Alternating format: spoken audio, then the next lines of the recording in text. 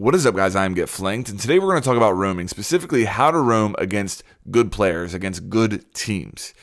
And I'm going to be honest with you guys, what I'm going to talk about in this video has been the hardest lesson that I've had to learn as a Siege player. The entire time that I've been playing Siege, this is the hardest thing for me to learn. It's something that I'm still working on every single day. And I know that there is a lot of you guys out there who fall into the same mistakes I do. And I think this video is really going to help you, particularly if you're somebody who likes to roam. And let me tell you what I'm talking about here, okay? Because what we're going to talk about in this video is, is difficult for me because it goes against my natural instinct as a player. Okay. And as a roamer, what I like to do is I like to use the element of surprise to win gunfights for me. I want to go and put myself in a position as a roamer at the beginning of the round where they're not going to know where I am.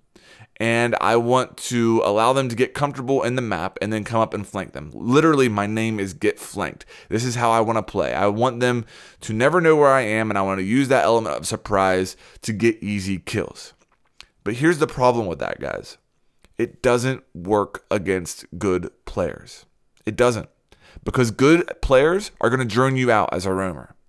And if you're relying on the element of surprise in order for you to do a good job as a roamer, if you're relying on the element of surprise in order to get kills, if you can't handle winning gunfights when the enemy knows exactly where you are, then you need to stop roaming or you need to improve in that area. And that's what we're going to talk about in this video. Now, before we get into the first gameplay clip, I want to go over what my target audience is here, who I'm really trying to help with this video. And I think it's designed to help anybody who's, you know, low plat and below. Uh, I've noticed that in gold and below, you can kind of pull off those deep roams where you go and hide at the beginning of the round and then you wait to pull off those flanks. Those will work in gold and below a lot. But once you start getting into plat, you're going to start playing against five stack teams that are going to drone better. And that's when you're going to have to start thinking about changing your roaming style here. And that's what I'm really focusing on is, is helping people who are who are trying to get to that level in this video. Okay, getting into the first gameplay clip, we're going to go over here and we're defending the Locker's objective on bank. And this is what not to do. This is me doing a really awful job as a roamer. This is the instinct that I'm trying to fight against. This is the part of my game that I'm trying to fix and change. This is the hard lesson that I've learned. And I know a lot of you guys have this same mindset. So hopefully this will help you recognize when you're doing this and stop it. But okay, I'm I'm I'm going to roam here. I'm going to play as Jaeger and what you're going to see me do is once the round starts here, I'm going to go into what I call my deep dark corner. I'm going to go somewhere on the map where I'm going to try to catch them off guard. But you can see here, I'm putting myself in an absolutely awful position. Okay. And if I succeed in this, if I have a good round, it's because the enemy is not very good. Okay.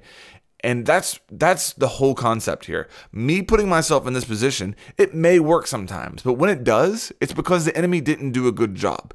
And that's the habit I'm trying to break, okay guys? If you find yourself using playstyles and making decisions that relies upon the enemy to play poorly in order for you to have success, then you need to change that because it's only going to take you so far. The hard truth is that me in this position, if I get droned out, I'm dead. There's windows all around me. I'm in an awful position. They don't have to do anything special. If they drone me out, I'm dead. Okay. And here's the other thing that as a roamer right here, I'm doing literally nothing to help my team. Okay. I'm giving the other enemy team full map control. I'm resisting them none whatsoever, okay?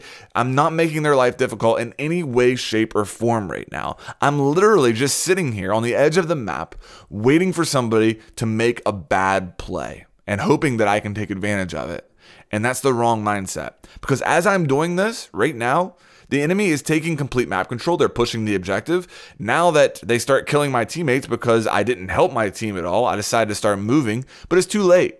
At this point, the enemy already has full site control. In a second, you're going to see them plant the defuser as I'm trying to go in and retake site control.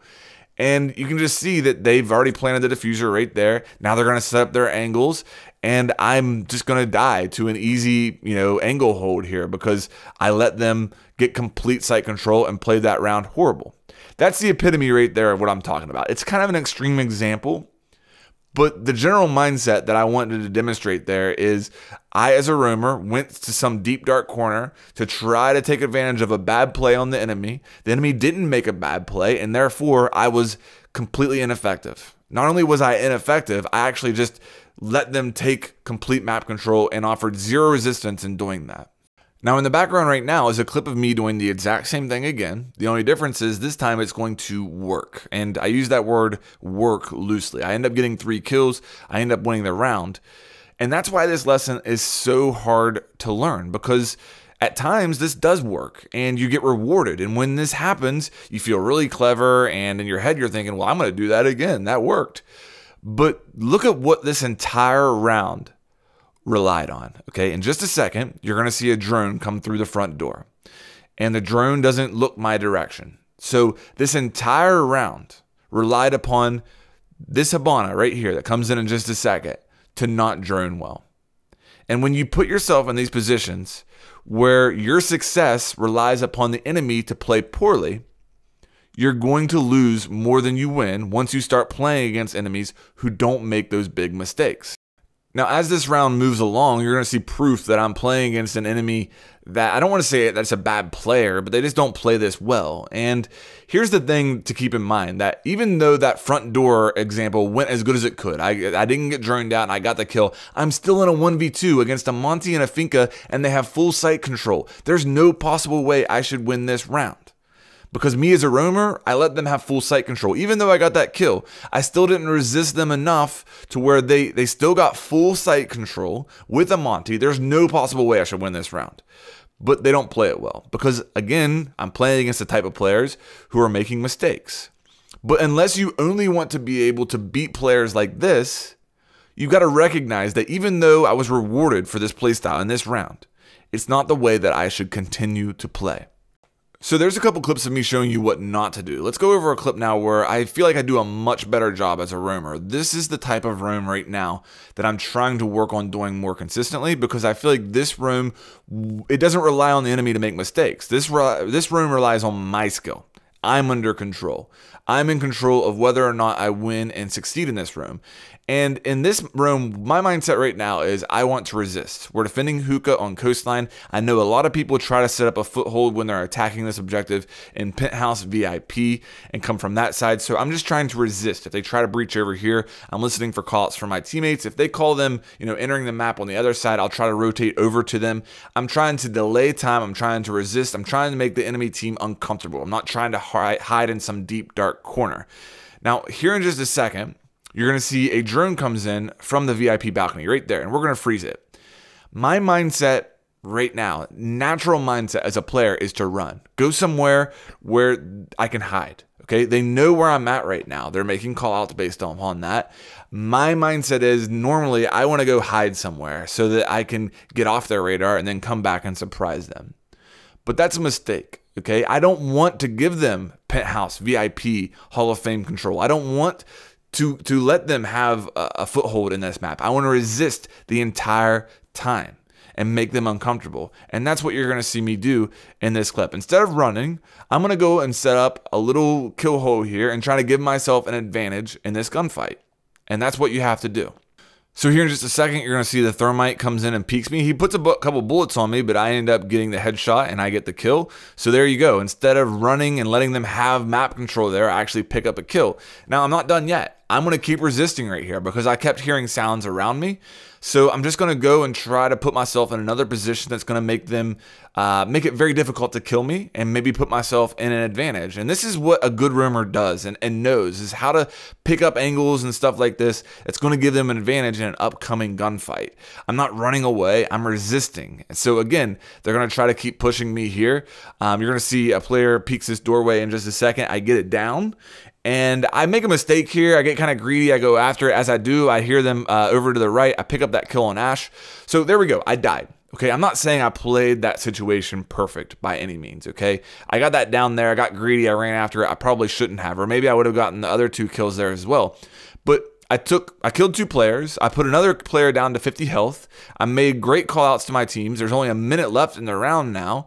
Uh, and we know where two of the enemies are uh, because I can call that out, that's a much better job as a roamer. And the decision there is once I got droned out, I didn't run and hide. I said, no, I'm going to resist. If you want to kill me, come and get it. And that's a mindset you need to have as a roamer. And if you're not comfortable in playing as a roamer when the enemy knows exactly where you are and still resisting them and still being able to take one or two with you and waste time, then one of two things. You either need to work on roaming and, work on that aspect of roaming, or you need to stop roaming. Now, I don't want you guys to get confused here and think that I'm saying that if you're not good enough, don't roam. That's not at all what I'm saying. It's more about a mindset. If you don't feel comfortable getting and winning head to head gunfights, that's an aspect of your game that you need to work on. There's two gunfights right there. Again, I'm not saying I play that perfectly in that round, but I tried to do something to give myself a little bit of an edge. The first was setting up that kill hole to try to give me an advantage if he peeked that doorway. The second was getting behind that cover and putting myself in a position where he wasn't going to spot me really easy. You know, I'm not just standing there in that doorway looking at him. I made it difficult for him to kill me.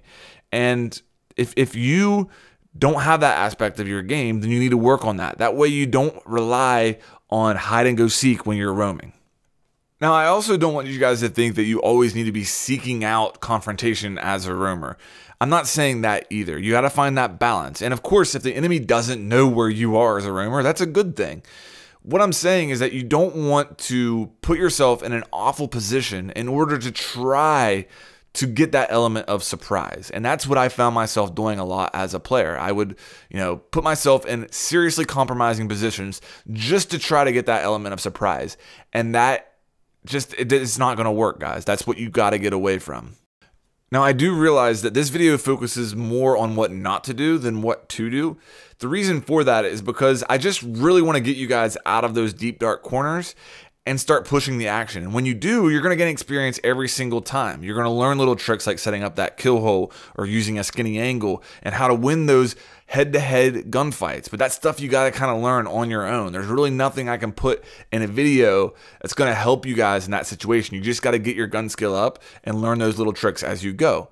I'm really interested to see what you guys think about this. Again, get out of those deep dark corners, start pushing the action as a roamer, and start, uh, you know, resisting. That's the big thing here, guys. If you guys enjoy this, please make sure that you like and subscribe, and I'll have more coming your way here soon.